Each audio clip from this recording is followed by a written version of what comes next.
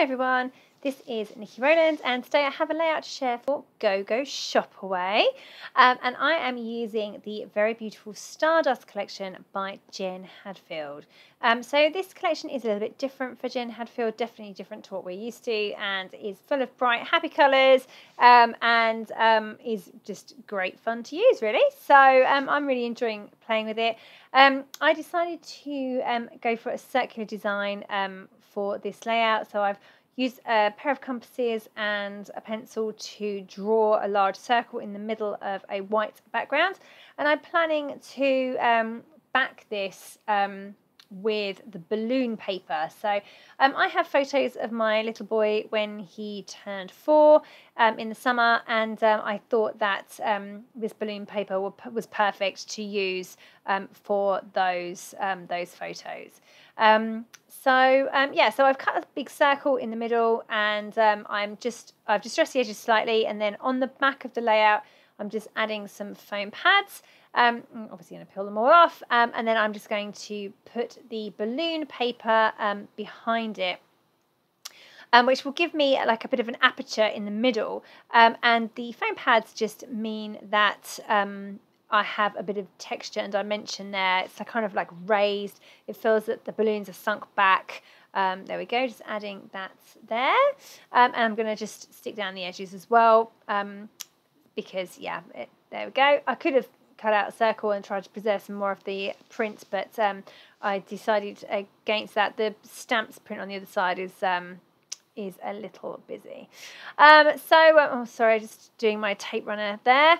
Um, um, do, do, you think it's really annoying when it runs out partway through a layout or I've barely even started the layout and it's run out. So um, very annoying. Right. So anyway, um, I've now um, now that I've stuck that down, I've decided that this um, the circle aperture needed some pom poms, um, and um, uh, anyway, I should have realised that I wanted to do that before sticking it all down, but I didn't. So now I've got to somehow poke it all in. So it's a little bit more tricky than if I had planned this out in advance and thought about using pom-poms in advance, but I um, didn't do that. So we just have to, you know, live with these things, don't we, and, uh, and do the best we can.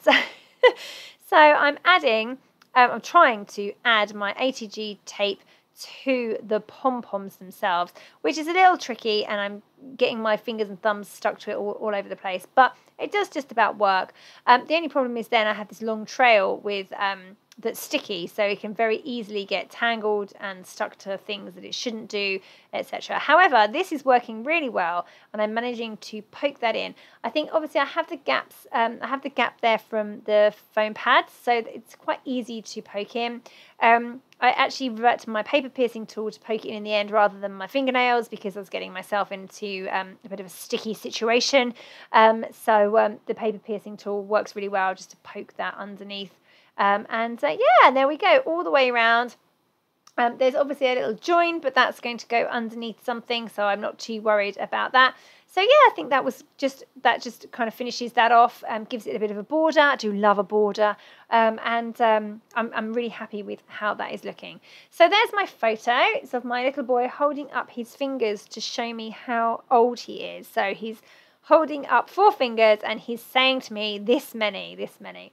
Um, so um, really super cute, and uh, I wanted to document that because uh, he was so. He's just he's just that that lovely age where he now gets it, um, and he's now so excited about his birthday um, and Christmas um, and uh, all those kind of things. He just understands everything now, whereas you know a year and a half ago he didn't really. So um, I mean, even on his third birthday, I think he was excited on his birthday, but I don't think he really understood it. Whereas now he does. So um, yeah, really, really cute. I love to see him grow and develop into this little character that he really, really is. Um, so anyway, yeah, there he is sitting on the floor. Hasn't opened his presents yet because I've made him do photos first. Um, and he's big grin on his face, holding up his fingers, telling me he's this many, which is super cute. So anyway, yeah, that's what I'm doing today. So I am pulling out all of the birthday things I can find. Now this is not a birthday collection by any means, but it does have some balloons. Obviously balloons can be used for many other things apart from birthdays. They can be used to celebrate all sorts of things. Um, and they can just be for decorations. They don't have to necessarily be for celebrations, but they often are. Um, so, um, so yeah, I found the journaling card that's got balloons on it that says "Oh Happy Day," um, and um, I've got um, a uh, foam frame that I've just stuck behind as a layer. Um, I've mounted my photo onto a journaling card in the kind of like mustardy colour. Um, I'm pulling my colours that I'm using obviously through from the balloon print paper. Um, it's got uh, kind of like a mustardy colour, the red, the pink, green and a blue. Um, so it's got quite a few colours in it um, and uh, I'm just trying to make sure that the embellishments I pull out um, from the rest of this collection um, are in the right colours. Um, so it means quite a lot to choose from there, so it's not too hard. Um, so I'm just going to make obviously a big cluster at the bottom left of the layout because that's going to be my photo cluster. And then I'm going to make another smaller cluster up at the top right. Um, so, so far I've added some um, ephemera pieces. Um, the ephemera is really pretty. It's got some silver foiled pieces in there. Um, so, and I love anything that sparkles. So, um, happy days for me. Um, and uh, I've got a stamp up there, a piece of ephemera. I've got just added that foam sticker, which is like a, a, a wall hanging. And then I've got some flowers in there as well. So yeah, that's all looking lovely. I'm happy with how it looks. Um, I've just pulled out some stamps. One says celebrate, so that works really well. Um, and then um, those flowers, I'm just tucking in um, and sticking everything down at the same time. Lots of these things are stickers, so they're already stuck. But um, I would like to give, even if I'm using flat stickers, I like to give some things uh, some dimension. So quite often I raise stickers up on foam pads as well. Um, same for um, ephemera. I usually attach those with foam pads. so yeah, I'm just adding and adding and adding um, bits and pieces here and there, just continuing to build up my clusters, anything that kind of works um, and is the right colour. Um, I love that little rainbow. Um, I don't think he makes it onto the layout in the end, that rainbow, but um, uh, I've got a couple of hearts, bottom left, um, and then I've got some stars and I've just added that little speech bubble. It's a foam speech bubble that says I love it, um, which I do, and so does he. um, and uh, yeah, so I say I'm just continuing to build and build and build um, and seeing what else I've got in the collection to use. So I've got these layered stickers. Um, I decided to um, stick the balloon layered stickers on top of the balloons that were on the journaling card. That just gives them extra dimension, which I love, so that works well for me. Um, the layered stickers are really beautiful. Um, there's uh, they're like almost do you remember like decoupage? Um, they remind me a bit of that, but just nicer. Um, and uh, um, they just give a lot of extra dimension. So it's like, for example, the balloons. Um, some of them are flat, but some of them are raised on foam pads have the extra layer there. So it's just they're just nice. I think the dimensional stickers um, to add extra dimension. Um, that's the whole point of them, I suppose. But um, I really really rate them. Um, and then um, I'm just going to continue adding bits and pieces. I've got the word celebration that I've just added at the top of the photo, um, another little banner stickers I've got there as well. Um, and um, I'm just wondering whether I can add a rosette, but actually I decided against that in the end. I'm going to use those on a different layout. Um, and, uh, and then I'm going to um, uh, add some stars, little bits and pieces.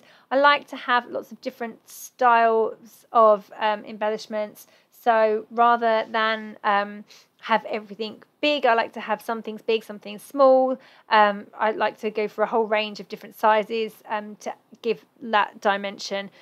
Um, just, um, I am just now writing my journaling and I'm going around the outside edge of the circle. Um, I'm using a grey journaling pen and I'm writing all the way around. So um, I have quite small writing, so that works well. But lots of people ask me how on earth do I make sure that I've got enough journaling or I got the perfect amount of journaling to fit in the space? Um, the answer is I, I don't. I just go for it and then if it goes wrong, then I figure it out. So just be brave. So I've just added um, some uh, splatters of silver paint. Um, and then once that was dry, I'm then coming back to add in some sequins.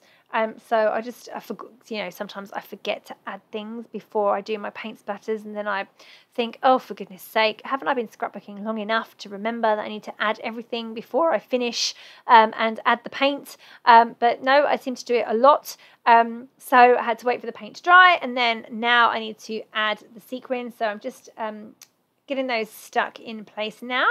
Um, Spiegelmom Scraps, always my favourite. Um, and uh, I've just sprinkled a load of those on uh, on those around those two clusters.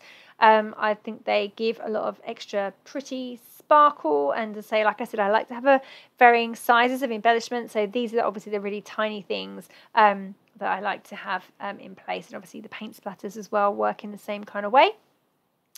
Um, so that's all coming together quite nicely. And then I've got um, my thickers. Um, these are the um, Stardust thickers. They are pink foam with glitter um, topping.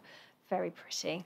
And I'm going to write this many. Now, I kind of wish that um, I had mounted this onto white first so that it was more visible. I could have done it on the white, but then then it wouldn't have been within the um, within the circle, so it wouldn't have looked as good. Um, but it's quite difficult to read over the balloons. It's easier in person than it is on a screen like this. But um, I thought I would try and rectify that by drawing around the edge in um, black journaling pen, which has made it better, but it's still not um, perfect. But it definitely does make it stand out a bit better. So um, if my journaling pen had been a bit thicker, that probably would have helped because um, it's a very, very thin, narrow 0.1 journaling pen. So it's really a tiny line, um, but um, it definitely does help a lot. Um, but say it would have been even better if it had been onto white um, cardstock instead. Um, but this was definitely a good little hack, if you like. Um, and then now I'm just going to add some Bramble Fox embellishments. So I've got the word celebrate that I'm going to pop right in the middle of the um, balloons there. Um, and then I've got some cupcakes as well. And um, my boy certainly loves cake. I think it's his favourite thing in the world to ask to eat. To eat, yeah. Every day before breakfast, we have cake now. I'm like, no, we can't have cake before breakfast. Um, but he seems to think he can. Um, and um, yes, I'm just getting those little cupcakes stuck in place. Um, I've had these in my stash for a while, so it's nice that um, those are getting used and the colourway is perfect. So I don't know why my screen is flashing. Um, that's happened a few times and I'm not entirely sure what's going on there, so sorry about that. Um, but uh, yeah, all done, all finished. I'm really happy with how this layout turned out. Um, and um, yeah, that one is complete. Very, very cute. Love the balloons in the background. Um, so yeah, I hope you enjoyed seeing how this layout came together. Um, and uh, the Stardust collection is really, very beautiful. So do make sure you check it out at Go Go Shop Away. Um, so yeah, that was um, Niki Rowland for GoGo Shopaway using Jen Hadfield Stardust collection.